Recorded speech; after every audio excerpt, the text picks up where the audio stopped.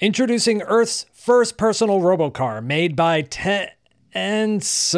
Unlike Tesla, Tensor uses many more advanced sensors and lots of computing power. You'll see, unlike Waymo, its autonomous vehicles designed from the ground up for personal use, not a retrofitted conventional car. Of course, we should all be skeptical about the claims of this little known startup, but now that they've revealed themselves, let's go over their approach to autonomy and how they'll say they'll go to market.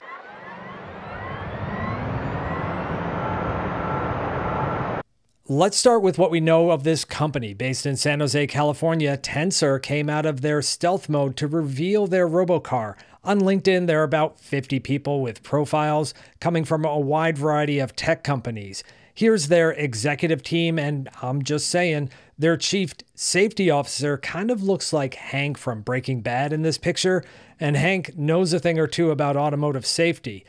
The company actually dates back to 2016 when it began autonomous development under the name AutoX. They have a permit in California to test its level 4 autonomous vehicles on public roads with no safety driver. SAE level 4 means the vehicle can operate without a driver, but there are limits to its operational design domain or ODD, limited to certain roads, weather conditions, or not allowed in construction zones or certain times of day. Waymo is also level 4. In their reporting to the state, they acknowledged the name change to Tensor Auto Inc., formerly known as AutoX Technologies Inc. AutoX Technologies was one of those AV companies straddling the line between Silicon Valley and Shenzhen, China. WeRide and NIO find themselves in the same situation. Prior to 2020, it was manageable working both sides of the Pacific, but after the Biden administration announced a ban on autonomous and connected vehicle technology coming from China, and the Trump administration doesn't want anything coming from China, these companies need to make some tough decisions. AutoX shut down their robotaxi fleet in China last year, and their US operations are now Tensor. Tesla, as we all know, uses a relatively simple sensor suite, relying on cameras to provide the input for autonomous driving. They removed the radar sensor a few years ago. Waymo and others use a wide array of sensors, cameras, yes, but also LiDAR, which gets all the attention. But don't forget about the radar sensors. Radar provides a very good complement to cameras let's break down Tensor. And, you know, fine, we'll start with the LiDAR sensor, and I like to spell LiDAR this way. On top is their 360 degree Tensor Halo Hyper LiDAR. Marketing BS, right? Uh, no, they claim it shoots 25.6 million beams per second. You know, well, it's time to do some math to make that claim out. Last year, I took a ride with May Mobility, and they use a 128 beam LiDAR on top. According to its manufacturer, it fires its lasers, you know, pew pew, 18,500 times per second. So multiply the two, and you get about 2.4 million beams per second. So Tensor's LiDAR is 10 times more than that, using silicon from AMS Osram, they're an Austrian based company, and Hamamatsu Photonics, a Japanese company. They claim it detects objects a thousand feet away from the autonomous vehicle. Tensor also has four smaller LiDAR sensors to fill in areas closer to the autonomous vehicle. They call this their Sentinel blind spot LiDAR. This is the same strategy that other companies use. Here, too, Tensor claims that they're more advanced, able to see straight down and with two and a half times higher resolution than other vehicles. Let's talk about the camera. Tesla Hardware 4 uses eight exterior cameras. Each one's about 5 megapixels each. That's a step up from Tesla Hardware 3, but cars in China often mention cameras in the 8 megapixel range or greater, some also featuring anti glare technology on the lens to help deal with sun flare. So, what does Tensor use? Of course, 27 megapixel cameras and more of them, 17 high definition cameras and 37 cameras throughout the vehicle. But, you know, who's counting? They deploy a variety of technologies to keep those cameras clean and able to see, from self cleaning little mini wipers and retractable nozzles to ultra high pressure pumps and anti fogging heating. You see wipers and jets used on other autonomous vehicles. I personally love the idea of someday having to replace a tiny little mini windshield wiper on your vehicle.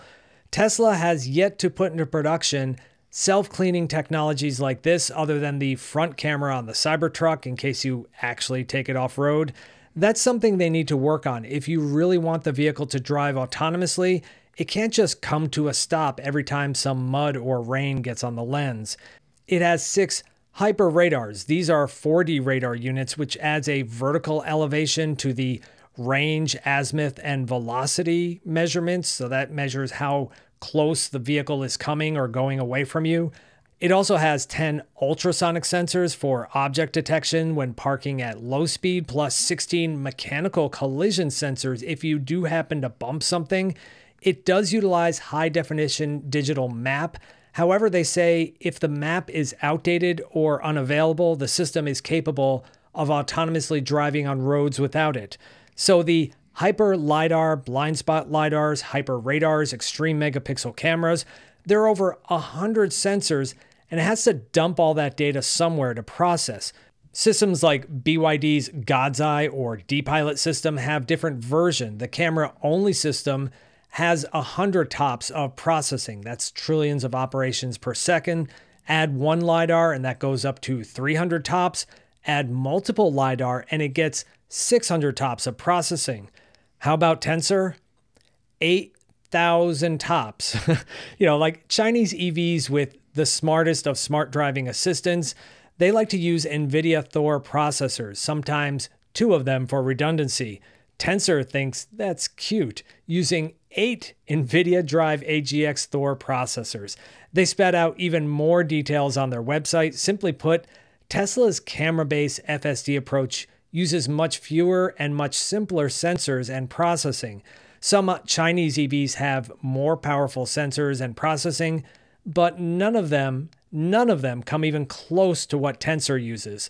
Waymo doesn't release specs for its self-driving kit, but it's probably the only thing on the road right now that matches it for hardware. The system learns from expert human drivers using high quality sensor data and imitation learning rather than just following a single path. It generates multiple driving options, each with a confidence score, and then selects the safest, smoothest route. Some other companies are doing this too, a multi path decision. It uses transformer neural networks, you know, ChatGPT, Tesla to analyze and predict real time interactions between vehicles, cyclists, and pedestrians. The hardware includes external microphones to listen for things like sirens from an emergency vehicle. I know Waymo and Zoox do this too.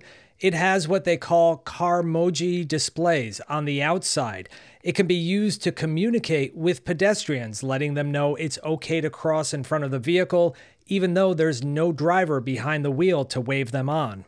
And all this comes with a car, so let's talk about it. You're probably already skeptical. I don't blame you. This is a highly advanced vehicle, maybe too advanced, you know, but they say it's coming. And please don't stop the video. They say it's coming in late 2026. Yeah, I, I know. Given all the, the turmoil and the tariffs and technology changes in the auto industry, that seems impossible. So, you know, let's just enjoy their vision for a personal robocar and see if it makes sense. It's an electric vehicle with a drag coefficient of 0.253. Not as good as other EVs, but you know, given that big old sensor pod on top and all over the vehicle, it's kind of understandable. The profile of the car reminds me of the Toyota Prius, which sounds like an insult, but you know, the new Prius is kind of a hot nerd. Size wise, however, it's huge, close in size to the BMW i7 or NIO ET7 it's an executive sedan capable of chauffeuring the owner autonomously, whether they choose to sit in the front where the driver would normally sit or lounging in the rear. It features coach doors, so the back doors have a reverse hinge. It still has a permanent B pillar, so I'm not sure why the coach doors are there. It doesn't provide a completely open entry. Doors for charging are both on the left rear, like Tesla, and the right rear. You sometimes see this on premium Chinese EVs. Sometimes the AC port is on one side while the DC fast charging port is on the other. Or it could be to accommodate dual simultaneously charging for faster speeds. You see that on a couple of other Chinese vehicles. From the images, it appears to be a single motor rear wheel drive. They did not confirm this. And, you know, I would expect a dual motor version to be available, but from the images, they don't show it. It's an 800 volt architecture, 845 to be exact. 112 kilowatt hour battery, so 300 plus miles of range should be pretty easy, although all that processing is going to suck energy from that battery. 20 to 80% in just 10 minutes, they claim. That's fantastic. 5C charging, 400 kilowatt average charging is what they state, so it'll peak higher than that. The chart that they have on their website shows it charging at 650 amps or better times 800 volts or more, and this thing could peak well over 500 kilowatts. Now, China has hardware that powerful, but in the US we currently do not. If we ever do get it, this EV can handle it. It's an AI powered air suspension. Now, that does not sound like a fully active suspension like the ClearMotion system that NIO offers. It features four wheel steer by wire like the Cybertruck, for reasons you'll see on the inside, that's important. Plus, brake by wire, both of which make it easier for the autonomous system to activate since it's all electronically controlled. The steer by wire allows for a foldable steering wheel when the human driver decides to let the autonomous system do the driving. We've seen this in concept cars before. With the steering wheel out of the way, the pedals will fold up for extra legroom and the center display can slide over for you to watch movies or take a meeting. The vehicle shown had camera based rear and side view mirrors. That eliminates the traditional mirrors on each side of the car, which adds to the drag. They state that this would be offered in areas that it's allowed by law, and currently the US does not allow that. However, the government has been looking at it for years, so maybe they finally make a decision on it. Tensor is working with VinFast to build this vehicle in Vietnam for sale in the US, Europe, and Middle East. You know, honestly, I could absolutely see this bonkers autonomous vehicle fitting very well into Dubai. Since the vehicle can drive itself, all the seats fold ridiculously flat, including three different configurations for the big bed. If you don't want passengers smoking in the vehicle, there's a smoke detector or it can be used to alert sleeping riders of a fire. Like many laptops, there are physical covers on the interior cameras for privacy. You can physically turn off the interior microphone for privacy. Wow, there must be some wild stuff happening on that big bed.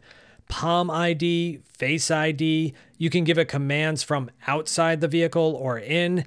AI Agentic to do more than just respond to your commands, but to be proactive very few buttons on the inside, end to end encryption between the vehicle and your phone.